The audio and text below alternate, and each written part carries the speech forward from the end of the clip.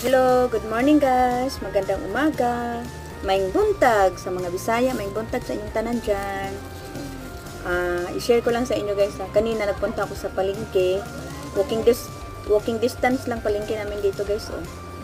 Ang sinasadya ko lang doon bumili ng saging. Pakita ko sa inyo guys yung nabili ko. Lakatan guys. Paborito ko lakatan. Yan guys. Ano lang to guys?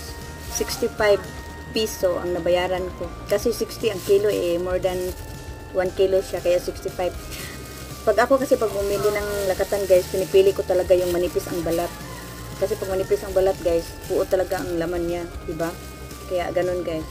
Ganun kayo guys. Pag bumili ka ng saging, kailangan manipis ang balat. Ayan, yan. Ayan, maganda siya guys. I like lakatan. Saka yung pangalawa guys, ano lang guys, okra. Kumakain ba kayo ng okra guys? Yan. Limang piso lang to guys. Idalawa binili ko. Iano ko lang to guys, i-steam ko lang to siya. Yun lang. Yun lang lang, yun lang ang nabili ko guys. Dalawang piraso lang. Walking distance lang ang palengke dito guys, ay malapit lang.